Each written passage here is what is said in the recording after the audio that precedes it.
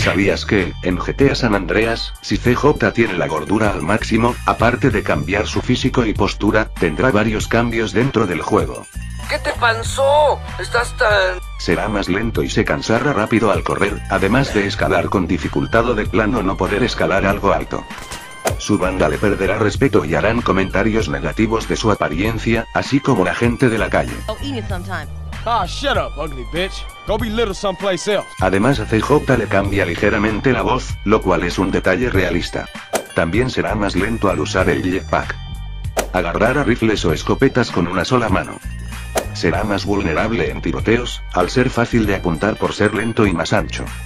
En las citas con las novias CJ hará comentarios que tengan que ver con comida.